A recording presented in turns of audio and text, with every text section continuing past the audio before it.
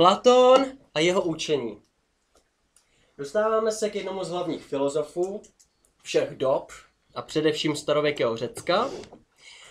A budeme zkoumat postupně ve všech možných seminářích um, jeho díla a jeho hlavní myšlenky. A dneska se budeme zabývat knihou a myšlenkami, které jsou v ní a jmenuje se Ústava. Je to jedna z Platónovo nejznámějších knih. Je rozdělena na mnoho částí. Některé jsou praktické, některá jsou podobenství a některé jsou spíš takové filozofické spekulace. Nad čím myslíte, že Platón může uvažovat v knize Ústava?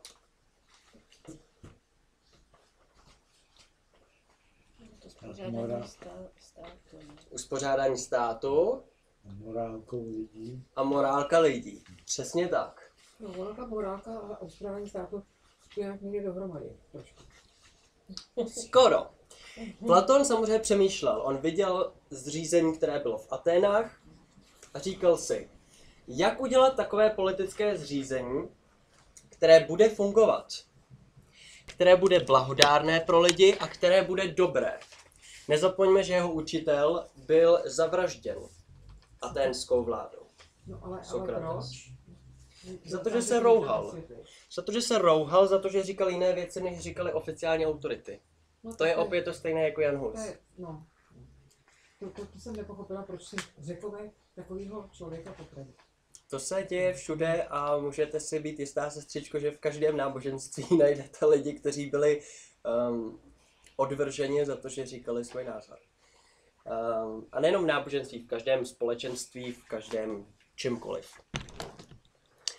Tak. Samozřejmě Platón uh, vymýšlel, uh, on tam má dvě části. Jedno je ta reálná podoba, taková utopie toho, jak by to mělo vypadat. Takže napíšeme za prvé utopická představa.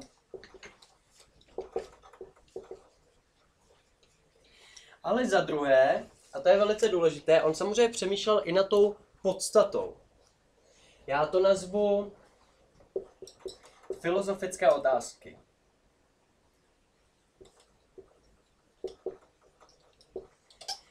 Protože pokud přemýšlíme a chceme zjistit, jaká může být dobrá vláda, dobré vládní zřízení a dobrá ústava, musíme nejdříve zjistit, co je to, to dobro. Co to znamená, že něco je dobré. Tím se budeme tedy zabývat. Zcela začátku. Dobro. Jak byste definovali dobro, aniž byste zapojili Boha nebo bohy? Co je to dobro? Pokud přemýšlíme tedy celkově z takového hlediska. Já to vůbec říct. Ani jako to vůbec. To je tak To je to nejlepší pro nás i pro druhé lidi. Tak, takže dobré pro nás i druhé. To je dobrá definice. Napadá vás ještě něco? Zkuste říkat jakýkoliv takovýhle myšlenky a pak to nějak provrtáme.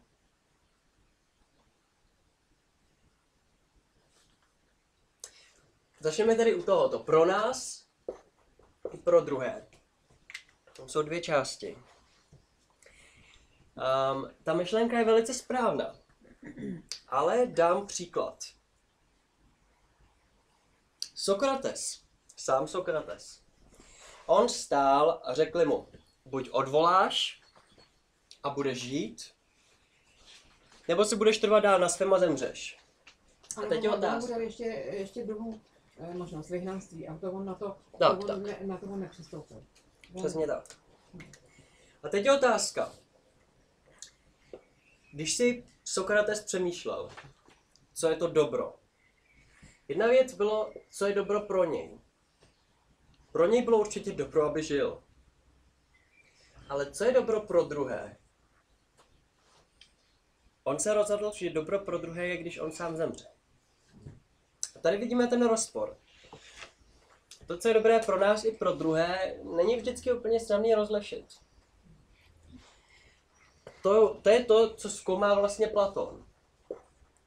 Zda dobro je to, co je dobro pro jednotlivce, nebo zda je dobro to, co je dobré pro mnohé, neboli společnost. Co z toho myslíte, že je blíž pravdě? Pro společnost. Pro společnost. Je tady někdo, kdo si myslí, že pro sebe? Dobro je to, co je dobré pro, pro mě? Nikdo. Takže pro společnost řekněme. Dobře. To je příklad, nastává válka a spousta vojáků jde a ubrání svou zemi. Obětují svoje životy, ale zachrání mnohem víc a celý ten stát. To je ten příklad. Dobro je to, co je dobré pro společnost. Nikoliv pro mě jako sobeckého jedince, když to řeknu zle. Dobře, podívejme se na Adolfa Hitlera a jeho Mein Kampf. Protože Adolf Hitler souhlasil přesně s tímto. On řekl, dobro pro jednotlivce, to není nic. Jednotlivce můžeme zlikvidovat. Důležité, aby přežil národ. Rasa. Důležité je, abychom správně se množili a aby budoucnost byla dobrá. V jeho ideologii šlo samozřejmě o to, aby německý národ, potažmo celá lidská rasa, byla co nejčistší. Nejsilnější, aby všichni slabí jedinci byli zlikvidováni. Teda. A teď otázka. Hitlerová myšlenka zapadá do tohoto konceptu a přesto cítíme, že není dobrá. Jak je to možné? Já si myslím, že to, že to, že to není možné. To, co je dobrý pro, pro všechny, nemůže být, když nemůže být dobrý pro jednotlivce, tak je to špatně. Aha, velice dobrá myšlenka, sestřičko. Protože to vidíme i na příkladu druhém, a to je komunismus. Četli jste, kdo tady četl komunistický manifest? Nikdo? Ani ve škole? No, já jsem ho teda četl a to jsem ho nečetl ve škole. Jsem ho četl sám. To je teda škoda, to si přečtěte, je to kratičky. Pár stránek, pár revolučních myšlenek. A tam bylo, že ženy budou patřit všem. Tak, jo, taky. A děti taky samozřejmě. Taky nikoli Děti také. společnosti. Přesně tak. Um, To je jako sekta nějaká. aha. Komunistický manifest v podstatě a komunismus jako takový hlásil myšlenku, že jednotlivec je nic. Jednotlivec jde nahradit. Ale důležité je ta mnohost, ta společnost, ta masa. Ačkoliv ta masa je taky bezcená. No. Důležitý to je, kam ji vedeme. Na těchto myšlenkách, a to je velice zajímavé, z hlediska filozofie bylo 19. a 20. století jakýmsi zdrojem nových myšlenek. Protože do té doby si všichni mysleli, že opravdu dobré je to, co je pro společnost a bylo to jednoduché. A teprve potom se objevil komunismus a nacismus, ideologie, které tohleto hájily a přitom byly skrz na skrz zlé. To byla záhoda. To nikdo, to do té doby nepřišlo. Sestřička tady správně řekla, že pokud to je dobré pro všechny, tak to znamená, že to logicky musí být dobré pro každého jednotlivého, který je uvnitř. Jo. Na tom je v podstatě postavený kapitalismus, když to tak řekneme. Jo. Hájí se svoboda jednotlivců a z těch svobod a práv a dober, které jsou pro každého, vznikne to dobro pro tu celou společnost. Na druhou stranu opět vidíme, že když to řídíme tímto individualistickým přístupem, tak to bohužel v tom konečném měřítku planeta Země a takhle a zdroje nerostný a, a všechny tyhle věci nevychází pro všechny. Vidíme tedy, že ta otázka je velice dobrá a důležitá. Co je to vůbec dobro? Je dobro to, co je dobro pro mě? Nebo to, co je dobro pro vás? V manželství určitě jste to každý z vás poznali. Kompromisy, jo, a tuhle ty, tuhle ty otázky.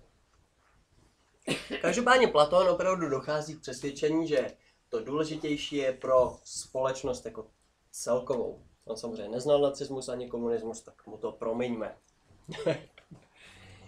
Platón se tedy rozhodl vymyslet společnost, která bude fungovat na ideálních zásadách. Napadá vás, co mohlo být v takové společnosti? Jak si představujete, co myslíte, že vymyslel Platón za utopii? Kdo myslíte, že v Platónovo utopii může vládnout všem? Jaká kasta lidí? Nebo z koho je složena? filozofové. Třeba filozofové, přesně tak. Jsou to filozofové. Jaká kasta ve společnosti v tom ideálním státě musí ještě existovat určitě? Kteří. Přesně tak. Tak. Takže nahoře filozofové, pod nimi vojáci. A někdo musí Někdo pracovat. musí makat, ano. A těch Tak. bude nejvíc. A těch bude nejvíc těch obyčejných, jo? Já to nazvu občané běžně. Protože oni pracují všichni samozřejmě, jo? Filozofové nahoře. Tak. Ono to vypadá jako klasická kastovní společnost. Trošku podobná hinduistickému systému kasty, jestli si to pamatujete. Jo, pamatujete si? Tam byly čtyři kasty, že jo? Tam byl jediný rozdíl, že tam byly ještě tito rozděleni na dva. Ti občané na obchodníky a na ty běžní. No, čekáme. Tak a ještě ty úplně špinavý dělají. Z hlediska tady tehdejšího. Jenomže Platón, uh, a nebyl by to Platón, kdyby nebyl originální, vymyslel ještě něco navíc. On vymyslel velice specifický způsob, na němž každá z těch částí společnosti existuje. Podle Platóna je zakázáno za běžných podmínek, aby se stýkali lidé, nebo spíš množili mezi sebou mezi kastami, těmito třemi. Jsou to tudíž oddělené kasty. Občané, ti dole, fungují tak běžně, jak to chápeme my. Ti žili podle různých zaměstnání, klasické rodiny a tak dále. Tam není moc eh, co zkoumat toho. Vojáky na okamžik přeskočím, protože budou žít specificky. A přijdu k filozofům. Tito filozofové neměli žít normálním způsobem. Těchto filozofů nebo filozofických rodů mělo být málo a měli žít komunisticky. Což je velice zajímavá myšlenka. Protože běžný komunismus tvrdil, že komunisticky mají žít ti dole. Když to Platon tvrdil, že naopak ti nahoře. Což je docela takové chytré, že jo? On tvrdil, že právě ti to nahoře nebudou mít žádný osobní majetek. Jenom všechno společně. Stejně tak nebudou mít žádné ženy. Jen pro sebe. Všichni budou navzájem společní, i muži. I děti. Platon popisuje, jak je velice důležité, aby ty děti nevěděly, čí jsou děti, ale aby všechny muže nazývali svými otci a všechny ženy svými matkami. A všechny sourozence svými sourozenci. Jo. Když vezmete, vznikla by velice zvláštní kasta lidí, která žije tedy podle zásad rovnosti, mají společný majetek a společné lidi. Tudíž oni by neměli vlastně touhu žádným způsobem se obohatit, protože žádný bohatství mít nesmí. Na rozdíl od těch jiných kast. To je ale strašně nepřirozený. To, to, to je přece blbost. To, Takhle, kdyby to To je bylo za přirozený, komunistů, kdy ve válce zahyne. Z čemu mu bude bohatství? K čemu mu budou peníze, když tamhle zahyne? A k čemu mě bude, Peníze, jo. když budu dělat v takovým molochu, kde, kde někdo dělá dobře, druhý nic a všichni mají stejně. Mě, mě to zavání komunismem. Tak, nesmíme zapomenout, že těch filozofů nahoře je velice málo. Takže eh, tam se to dá ohlídat, jo? protože když se vezmeme nad městem, by bylo třeba 30, 50, maximálně 100 takovýchhle lidí. Oni si mezi sebou žijí, tak to oni nic nevyrábí, ale oni pracují právě na těch zákonech a filozofických zásadách. Jo?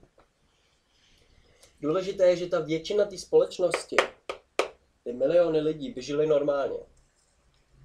No, to jsou ti zde. Platon samozřejmě navrhuje, že pokud by se někdo z těch filozofů prohřešil, může být odstraněn A pokud naopak někdo z těch občanů by se prokázal moudřejší, tak se může dostat nahoru. To ale trošku podezřívám Platona, že to je tam jako jenom tak daný, aby se neřeklo, protože v praxi se to velice těžko ohlídá. Že? Um, ta myšlenka, kterou on dává, je svým způsobem trošku originální. Když jsme ti filozofé si žijou v takovém svém vlastním městečku dokonce. Jo.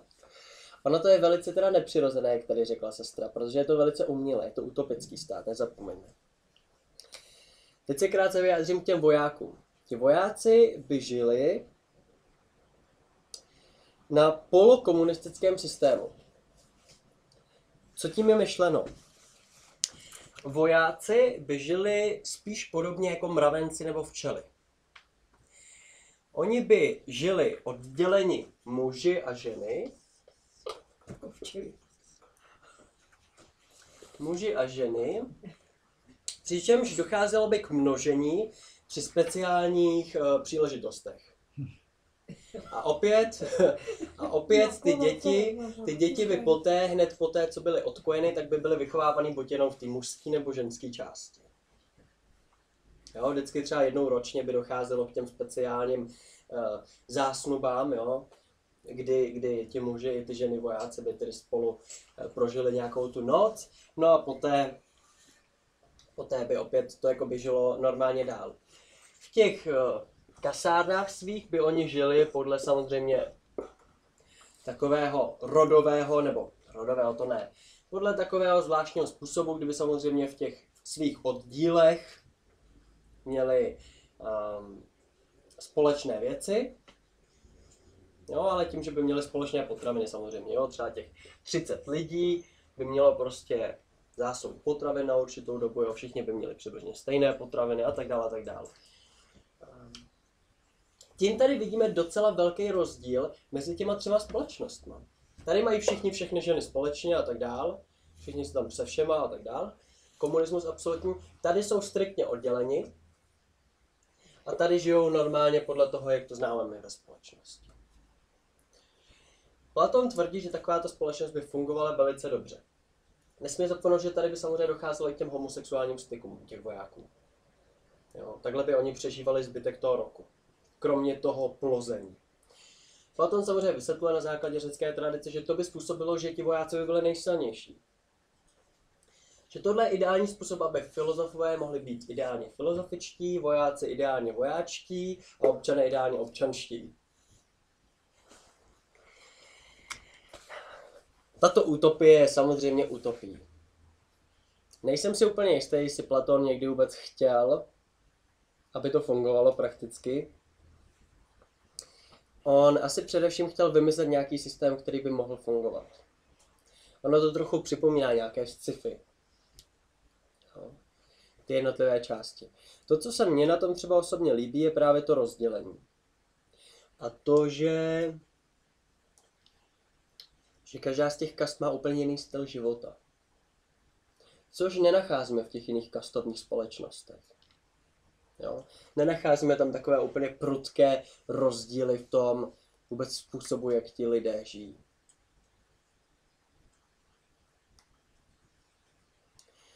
Platón v ústavě, kromě těchto otázek, co je to dobro, řeší samozřejmě otázky, co je to filozof, nebo kdo je to filozof, že jo? Když on chce mít společnost, kde vládnou filozofé, tak se ptá, kdo je to filozof. Stejně tak, kdo je to voják, kdo je to občan a tak dále, a tak dále. Víte, které velice významné podobenství se nachází v ústavě? Nejznámější Platonovo podobenství. Víte, jak se jmenuje?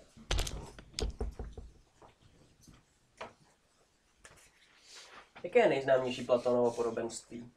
Které znáte?